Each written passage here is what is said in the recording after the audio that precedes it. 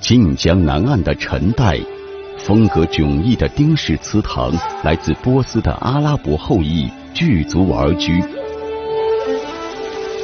在泉州大地上繁衍生息，无不说明千年古城繁荣的文化交流。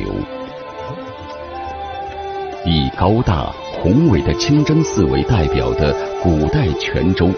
天主教、景教、伊斯兰教、摩尼教相得益彰，和谐共处，呈现着人类历史上灿烂的多元历史文明，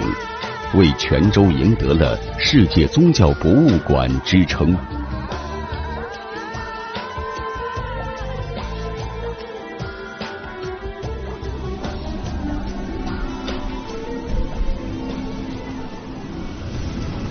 作为海上丝绸之路的重要港口与主要城市，遗留在泉州历史的文化古迹纷繁复杂。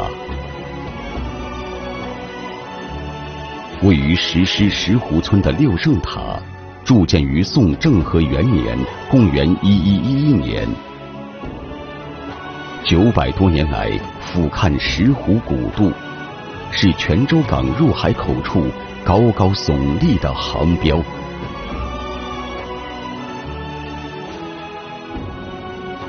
位于石狮宝盖山上的关锁塔，始建于南宋绍兴年间（公元一一三一至一一六二年），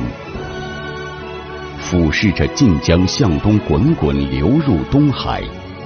泉州湾和深沪湾一览无余。分布在泉州海岸线上的还有汉江古渡，晋江岸畔的富美古渡是泉州古城最繁忙的渡口。